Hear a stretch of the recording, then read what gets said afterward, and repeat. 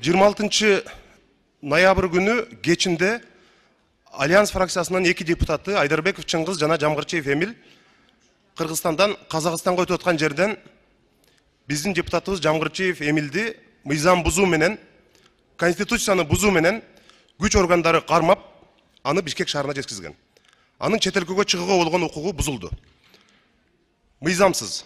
Кыргыз республикасынын жогорку кеңешинин депутатын күч органдары кармап ал жака баспа бул жака басасың деп кылганы бул э, туура эмес биз аны кемпирабад маселесинде эмил жамгырчиев каршы берген менен байланыштырабыз түздөн түз жогорку соттон эмил миң он сегизинчи жылы иш козголуп толугу менен райондук соттон дагы шаардык соттон дагы жогорку соттон дагы актоо чечими чыккан бирок ошого карабастан азыркы күндө ишти кайра жандантуу аракети болуп жатат.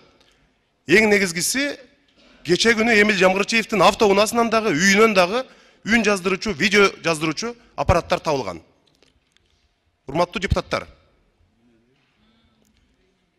Депутат берген добуш үчүн каршы береби макул береби ага жооп бербейт. Бул конституцияда дагы мына регламентте дагы так жазылган. Ошондуктан мага жогорку кеңештин төрагасына күч органдарынын жетекчилери болуп өткөн окуя тууралуу так жана толук маалыматты бүгүндөн кечиктирбестен берип коет деген ишенимдемин рахмат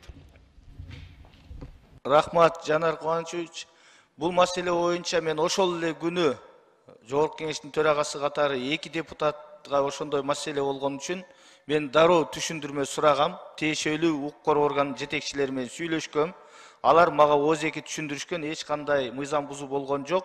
Болгону биз э, баягы кылмыш иштери бар. Ошонун негизинде мындай сурадык эч кандай кармоо башка болгон жок.